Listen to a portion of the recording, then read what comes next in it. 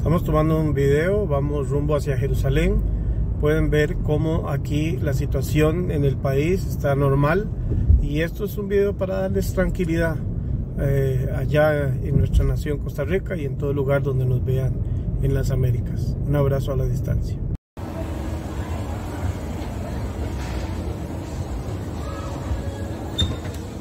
Ahí viene Karen llegando. No crean que estemos en Jerusalén, estamos en Haifa. El gobierno le dijo ayer y su empresa, su GAN público donde trabaja, privado, perdón, donde trabaja, que se suspendían las clases. Íbamos camino a Jerusalén, llegando a Tel Aviv dijeron que las clases iniciaban el día de mañana y se suspendieron de nuevo, ah, así que ya nos habíamos devuelto a Haifa. Así son las cosas en este país. Hola a todos, hola Costa Rica, a todos los que nos escuchan. Bueno, estamos eh, para acá, estamos cambiando un eh, shawarma que nos íbamos a comer después de haber hecho nuestros rezos en el cótel, que teníamos toda la esperanza de poder aprovechar dos días libres que le daban a Karen para poder eh, rezar en el cótel y dar gracias a Dios que todo pues en realidad no salió bien, pero está mejor de, de como pudo haber estado y entonces siempre vemos la parte positiva. Ahora estamos acá en Mall Israeli Mall, pero en Haifa y como les dije anteriormente, lo estamos, estamos cambiando el shawarma en el cótel por un cafecito, un postrecito y un shakshuka porque no se pudo y entonces aquí estamos.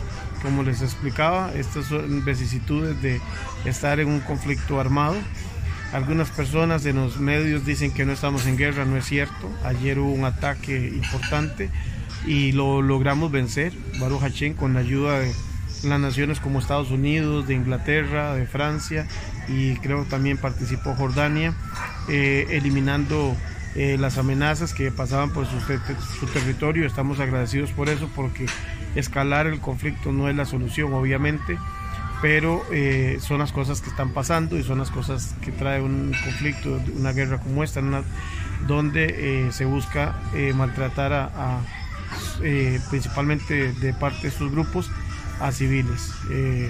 siempre estamos rezando y pidiendo por la paz. Somos costarricenses, somos israelíes y amamos la paz. Y bueno, les mostramos este video para que vean que la ciudad está en calma, la gente viene a los moles, tenemos una restricción de mil personas, pero se puede circular en las carreteras y se puede circular en los comercios. Eh, un saludo a la distancia, saludos para la familia, eh, decirles estamos bien, les da Tachem, Baruch Hachem, todo está bien y esperamos que así siga. Un abrazo a la distancia. Karen, saludos. Adiós a todos. Bueno, chao, chao.